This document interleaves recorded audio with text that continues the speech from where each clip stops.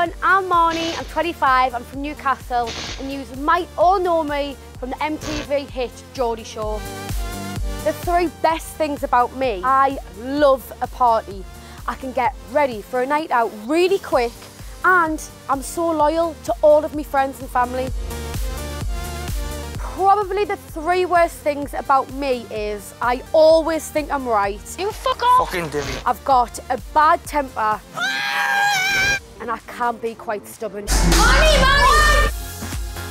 I honestly don't do chat-up lines because I think they're so embarrassing and so cringe. If I'm in a club and I see a lad who I fancy, I'll just go up and tell him. It always works every time.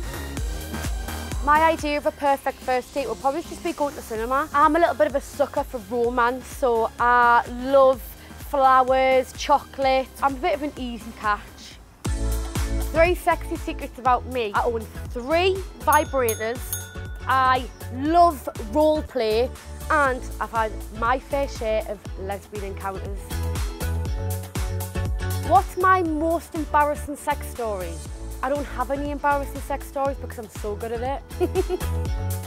I love my nipples being played with. I don't even know why. Is that weird?